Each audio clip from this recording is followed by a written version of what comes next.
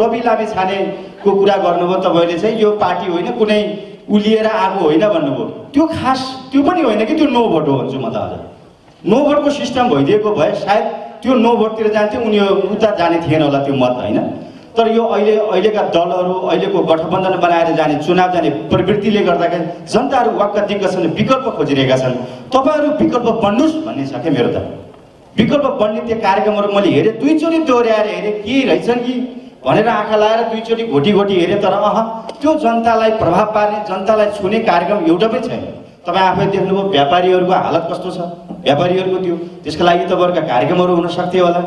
अन्य धेरै क्षेत्रहरूको छ त्यसमा अलिकति प्रश्न पारिदिनु होला महासचिवले यति नै गरेँ। अलिक तितो बोले माफी चाहन्छु। हस् त धन्यवाद।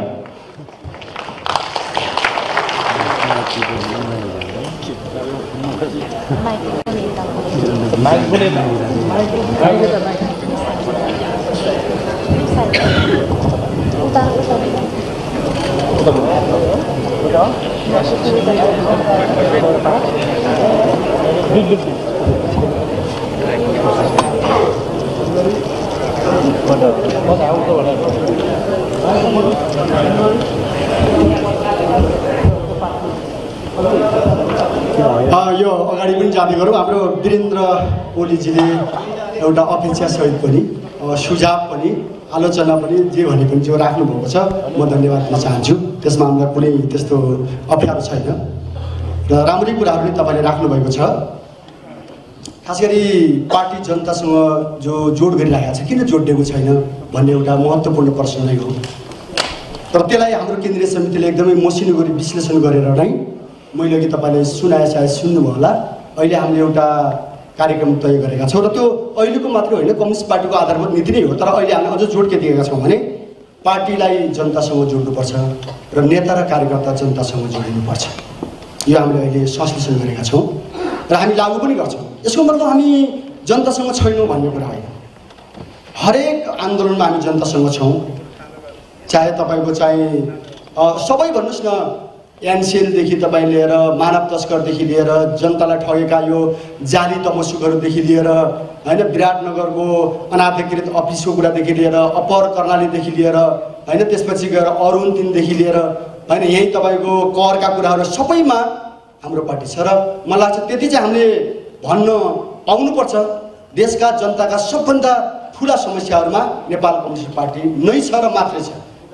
र हाम्रो पार्टीकै कारणले थुप्रा राष्ट्रघाती परियोजनाहरू रोकिएका छन्। या तपाईँको चाहिँ उनीहरू फर्किएका छन् या उनीहरू सोच्न बाध्य भएका छन्। एनसेलले तिरेकै करको कुरा गर्नुभयो भने पनि हाम्रो पार्टीले चाहेको आन्दोलनपछि मात्रै त्यो कर सम्भव भयो र त्यहीमा पनि राज्यले गडबडी गरेको छ।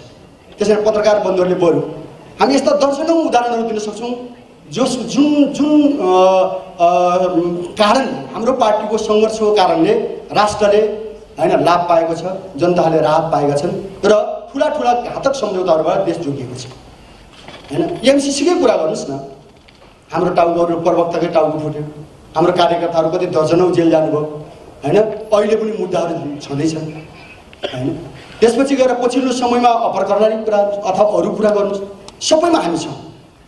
त यसको पछाडि हामी के देख्छौँ भन्दाखेरि हामीले अलिक नयाँ तरिकाले सोच्नुपर्छ। यो कुरा पनि सही हो। अर्को कुरा नेपाली जनतामा धेरै खालका तपाईँको चाहिँ मैले अघि भने दलाल पुँजीवाद कसरी आयो भन्दाखेरि मैले अलिकति बताएँ त सायद तपाईँले त्यसलाई बुझ्न मतलब खोज्दै हुनुहुन्छ अथवा त्यहाँ पुग्न सक्नु भएन। कसरी आयो दलाल पुँजीवाद? अर्थतन्त्रमा मिटर ब्याजबाट आयो। अर्थतन्त्रमा लघु वित्तबाट आयो। अर्थतन्त्रमा एकाधिका रातारात तपाईँको अरबपति र खरबपतिहरूले देशको अर्थतन्त्रमा कब्जा गर्ने गरी आयो। तपाईँ हामीले हेरिरहेका छौँ नि। दुई तिन वर्षमा मान्छेहरू अरबपति खरबपति भइसक्यो हेर्नुहोस् होइन?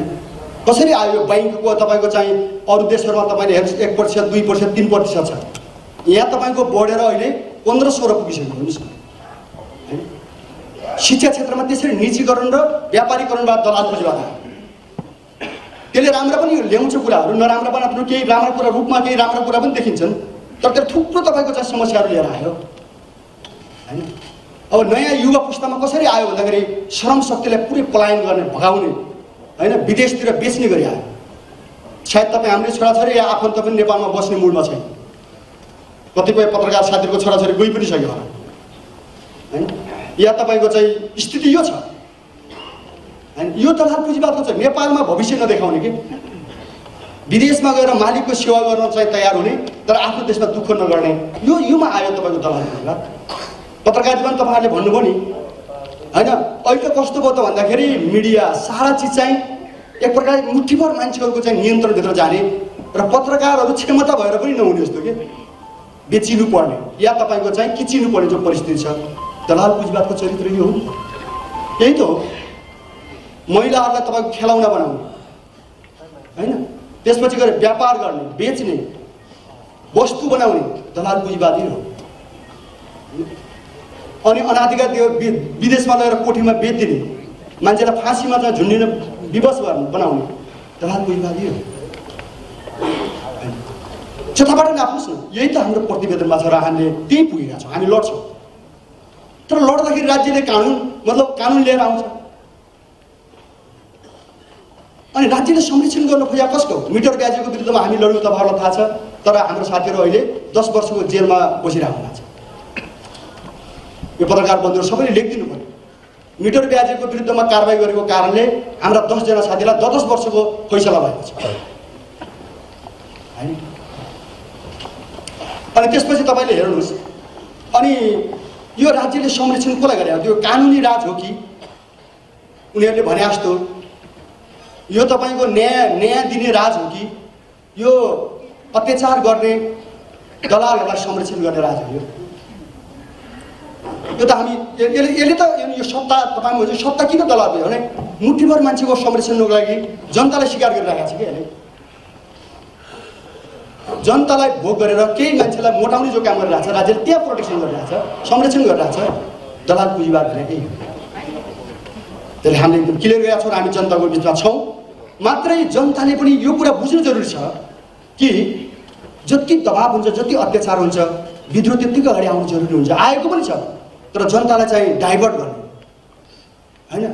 बङ्ग्याउने। जनताको आन्दोलनलाई चाहिँ होइन एकातिर पन्छाइदिने सहायक विषयतिर हुल्ने।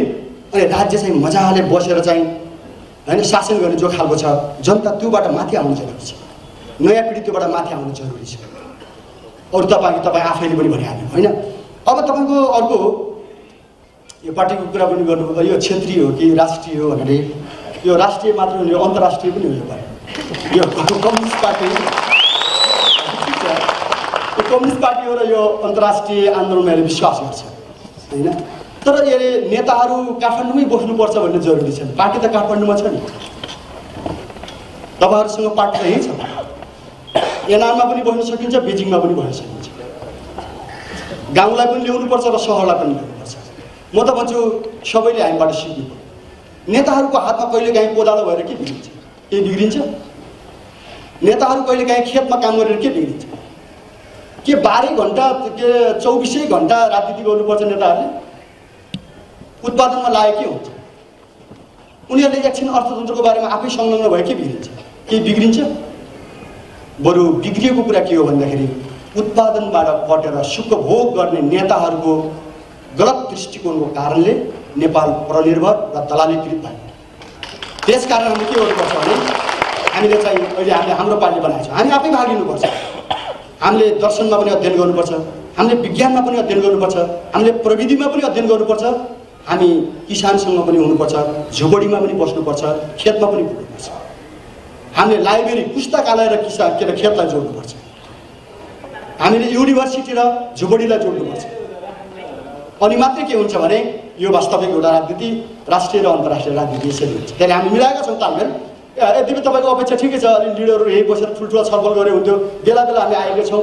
हामीले बाँडेका छौँ कार्यवाही छौँ कोही हामी काठमाडौँ छौँ कोही हामी कोही छौँ। कपिल वस्तु मात्रै पनि छैनौँ हामी देशैभरि छौँ। यी कुराहरू छ। एउटा कुरा के हो भने संयोगले हामीले एउटा भवन कार्यालय केही सहकारी कम्युनहरूले हामीले हामीले त्यही बनाउने मौका प्राप्त गऱ्यौँ। होइन? बनेको छ। त्यो चाहिँ अब पछि तपाईँहरूलाई पनि निमन्त्रणा गर्छु। त्यहाँ आउनुहोस् एकखेर तपाईँ पनि घुम्नुहोस्। हामीले के आउँ? के रोपेका छौँ? के हुन्छ? गऱ्यो भने के हुन्छ भन्ने कुरा हेर्न आउनुपर्छ।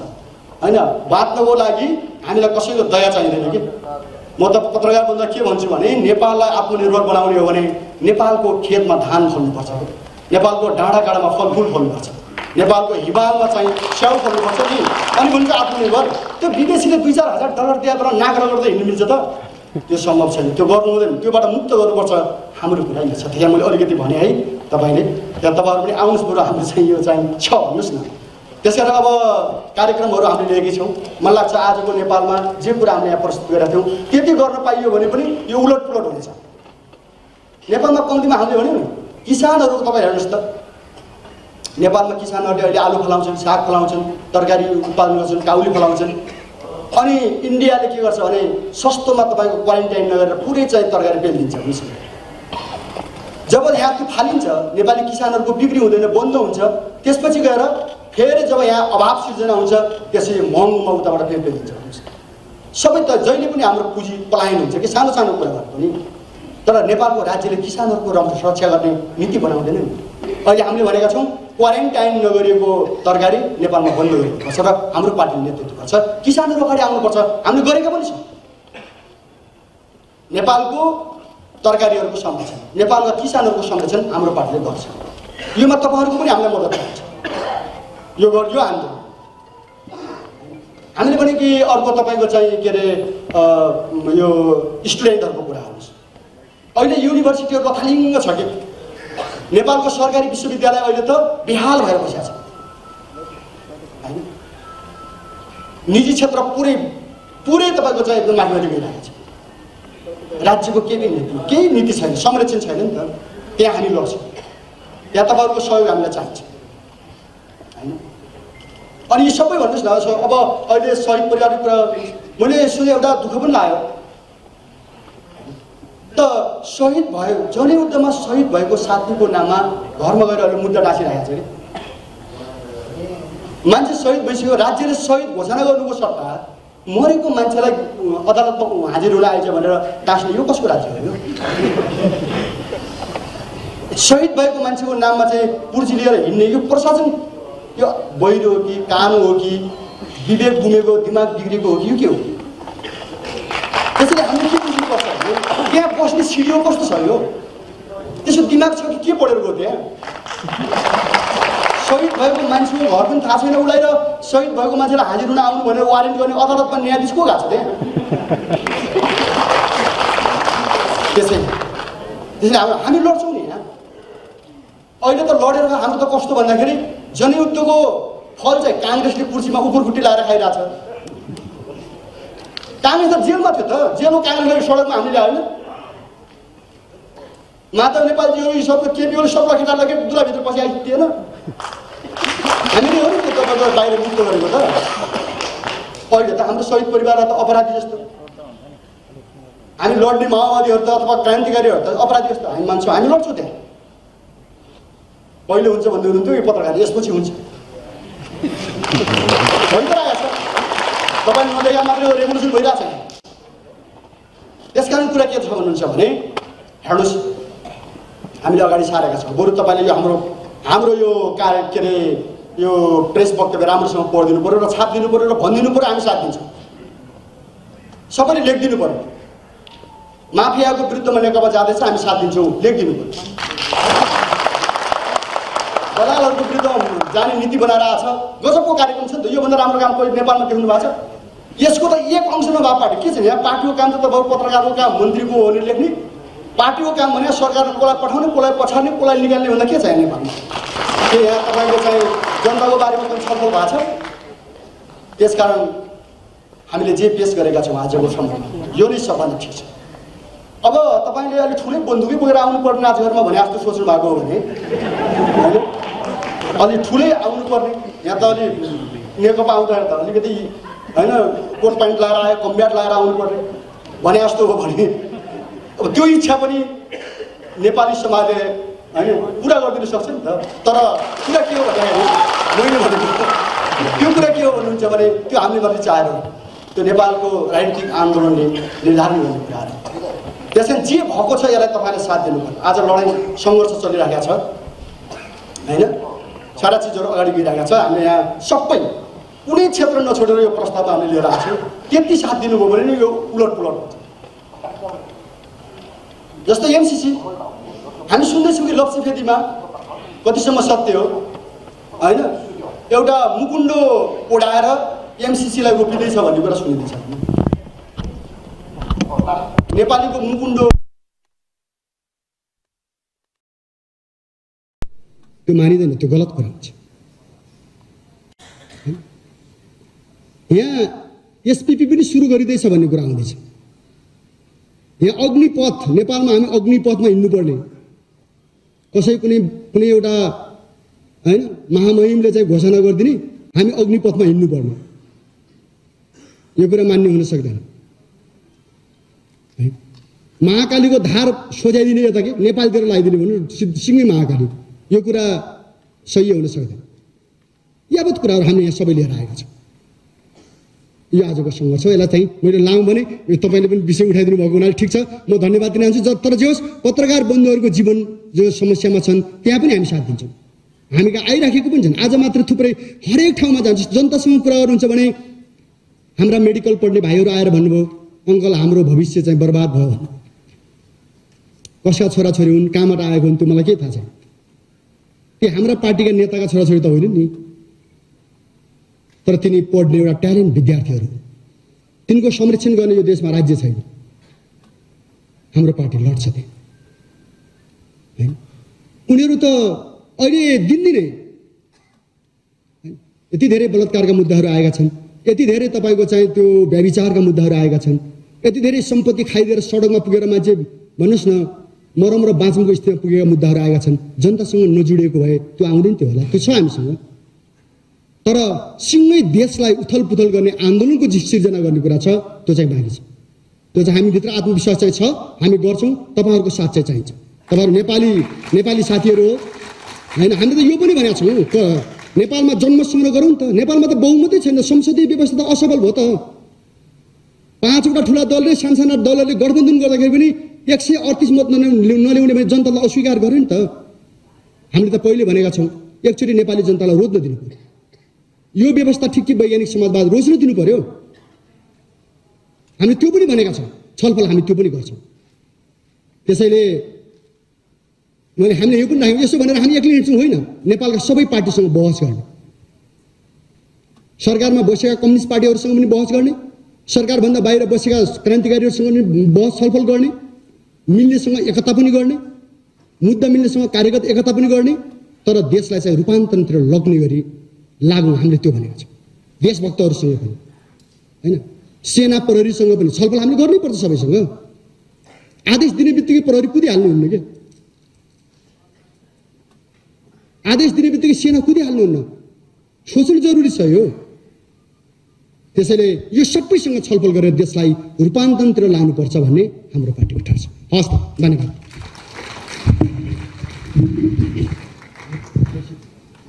महासचिव महासचिवजी नमस्कार। म good TV reporter Dipendra Regmi. तपाईँको कुरा सुनिरहेँ धेरै अगाडिदेखि नै तपाईँलाई फलो गरिरहेको मान्छे। पछिल्लो समयको यो देशको वर्तमान अवस्था देख्दा मलाई बन्दुक बोक्न मन लाग्छ। तपाईँ बन्दुक बिसाएर आउनुभयो। उपलब्धि होला जस्तो लाग्छ। यहाँ यो भएन यो गर्नु हुँदैन। भनेर विरोध गर्नु बाहेक विरोधका स्वरहरू उठाउनु बाहेक उपलब्धि के पाउनु भयो। तपाईँ त सार्वजनिक हुनुभयो मात्र सार्वजनिक हुनुभएको छ। काम चाहिँ जनताले अनुभूति गर्न पाएको छैनन्। कहिले पाउँछन्? अनुभूति कहिले हुन्छ? मेरो प्रश्न। धन्यवाद। हाम्रो दिपेन्द्रको त झन् भयङ्करै सनसनीपूर्ण कुरा भयो होइन? तर ठिक छ। जो कुरा तपाईँले उठाउनु भयो तपाईँले सायद जवाब केही खोज्नु भएको छ। म त्यो जवाब चाहिँ दिनेवाला छैन? अब मतलब चाहिँ कुरा त्यो दिन्छु भने मैले भने फेरि दिँदैन भने पनि होइन। होइन यहाँ यसो हो बन्दुक मैले अघि भने नि बन्दुक गोली बम होइन त्यो कुनै भौतिक वस्तुको कुरा होइन। रेभोल्युसन क्रान्ति विद्रोह परिवर्तन भनेको जीवनको कुरा हो मान्छेको विचार र दृष्टिकोणको कुरा मान्छेको विवेकको कुरा हो त्यो। तपाईँलाई जो लागेको छ नि साँच्चै लाग्यो हो कि होइन भन्नु त? कुरा त्यो छ अब यो मलाई लाग्छ लागेकै छ। मलाई पनि लाग्छ यो लागेको छ। फेरि तपाईँले झुटो बोल्नु भएको छैन पक्कै लाग्छ यो तपाईँलाई मात्र हुने नेपालका लाखौँ युवाहरू लागेको छ। हामी त्यो पुरा गर्छौँ। हामी पुरा गर्छौँ त तपाईँ ढुक्क भए हुन्छ तर भाग्न पाइँदैन है। कोही पनि कोही पनि हामी हामी- यो देशलाई बनाउनु पर्छ हामी बनाउनु पर्छ हामीभित्र त्यो चाहिँ छ कि? तपाईँ हेर्नुहोस् हामी यो देशलाई एकचोटि बनाउँछौँ कि? हामीसँग सपना छ। म तपाईँ जस्तै कलेज पढ्दा पढ्दै छोडेर हिँडेको मान्छे हो। त्यो सपना आज पनि हाम्रो जिउँदैछ। र हाम्रो रगतमा त्यो आज क्रान्ति बगिरहेछ कि? हाम्रो रगतमा पानी छैन क्रान्ति छ भन्ने कुरा सबैले हेर्का राख्नुपर्छ र त्योमा हामी कहीँ तलमाथि छैनौँ हामी त्यो पुरा गर्ने भनेर हामी लागेका छौँ। तर तपाईँले भौतिक वस्तुको रूपमा बन्दुक र बमको कुरा सोच्नु भएको छ भने त्यो त सहायक कुरा हो। जब तपाईँमा साँच्चै नै एउटा तपाईँको दिमागले तपाईँको दृष्टिकोणले तपाईँको विचारले यो व्यवस्थालाई होइन फाल्नु पर्ने यसलाई निमिट्यान्न पार्नुपर्ने यसलाई निषेध गर्नुपर्ने देख्नुहुन्छ नि त्यसपछि सबै चिज आफै आउँछ मैले पहिला पनि यही भनेको थिएँ। बन्दुक तपाईँको दिमागमा हुनुपर्छ हातमा आइपुग्छ त्यो। त्यो ठुलो कुरा होइन त्यो। आउँछ तर त्योभन्दा पहिला हजारौँ लाखौँ युवाहरू चाहिँ तयार हुनुपर्छ। म तपाईँलाई स्वागत गर्न चाहन्छु यति कुरा मैले भने।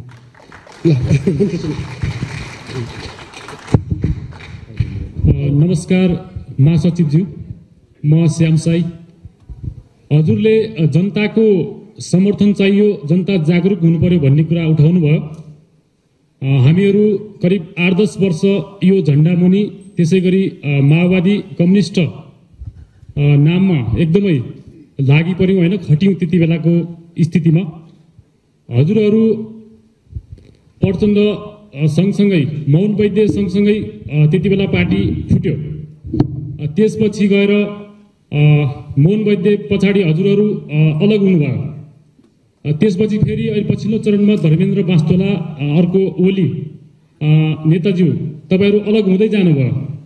पार्टी चाहिँ जोगाउन सक्नुहुन्न होइन? अब जनताको समर्थन चाहिँ हजुरहरूको पार्टीमा एउटा जनसमर्थन जुटिसकेको थियो। अघि दुई चार वर्ष अगाडि एउटा माहौल बन्दै गएको थियो। फेरि पनि धर्मेन्द्र बास्तोला लगायतका नेताहरू आउट हुँदाखेरि अहिले फेरि एउटा फेरि लोमा गएको छ। यस विषयमा के भन्न चाहनुहुन्छ मेरो प्रश्न? धन्यवाद तपाईँले चाहिँ एउटा प्रश्न खडा गर्नुभयो। त्यो ठिकै छ धेरै छलफल भइराखेको कुरा हो। यसमा के मात्रै भनौँ भन्नुहुन्छ भने पार्टी फैल्यो भने पार्टी जोगाउने भन्नु नि पार्टी जोगाएको कारणले यस्तो भएको हो। जो कमरेडहरूको साथीहरूको कुरा गर्नुभयो नि पार्टी जोगिएको कारणले भयो र म धेरै कुरा भन्न चाहन्न जोगिएकोमा कैयौँ मान्छेलाई मन पर्दैन। मासिएको हेर्न चाहने मान्छेहरूलाई जोगिएको मन पर्दैन। कारण चाहिँ कुरा हो। हामीले पार्टी जोगाउँदाखेरि र पार्टीलाई एउटा यो देशको चाहिँ वैकल्पिक शक्तिको रूपमा थापित गरेको मान्छेलाई मन परेन। देश बाहिरकालाई पनि मन परेन र भित्रकालाई मन परेन। र भित्रैको हामीसँगै बस्ने साथीहरूलाई पनि कैयौँलाई मन परेन। त्यसकारण झरेर जाने पातको कुरा अब नगरौँ। पालुवा पलाइसक्यो। अब नयाँलाई मलजल गरेर जानुपर्छ।